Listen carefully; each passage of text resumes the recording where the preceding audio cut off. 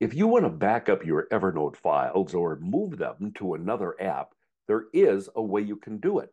Your data is yours, and you can do whatever you want with it. Hi, I'm Dave Edwards. Today, backing up and moving your data. I post about Evernote most Mondays, so subscribe below and you won't miss any of them. I'd really appreciate it, and I suspect you will too.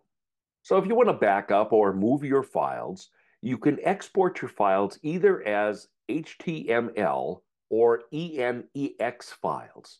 You know what HTML files are, but you've maybe never heard of ENEX.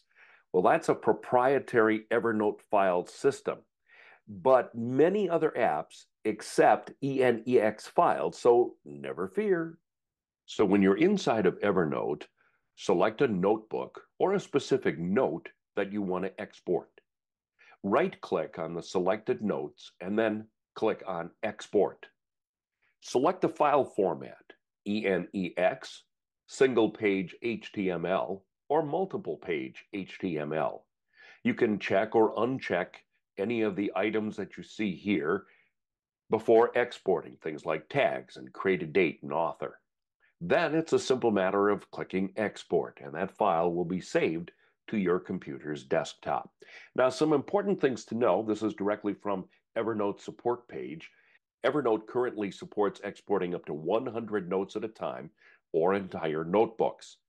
If you're exporting as an ENEX file, you can select the maximum file size of each ENEX file between 300 megabytes and 2 gigabytes. If you're exporting a single page HTML file, you're going to receive a single file with all notes in a single folder that contains all notes and resources. If you're exporting as a multi-page HTML file, you'll receive an HTML file for each note, a single file that contains all note resources, and an index that links all of the HTML files. And your attributes will be stored as metadata in the HTML or ENEX file. So this is going to take some time. It's not like you can export all of your notes as one large group. Plus, you'll want to remember or write down the files that you export so you don't accidentally move them again, or worse yet, forget some of them. This is what I call a weekend project.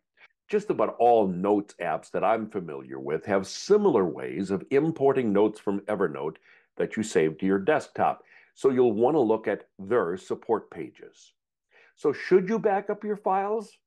After all, Evernote stores your data safely on its servers, but it's still not a bad idea to back up your files, Evernote files, and everything else that you work with on your computer.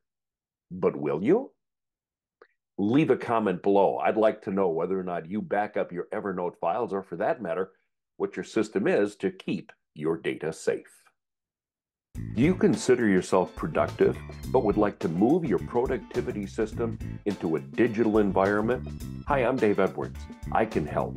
I've created a course called Getting Things Done in a Digital Environment. In the course, I take you through each step of GTD and show you how you can use the GTD system in the digital environment that you choose. I demonstrate, I show you my system. It's easy to do once you have someone to guide you through the setup. The course is on demand and online, and it's ready for you right now. Find out more at daveedwardsmedia.com. Click on courses.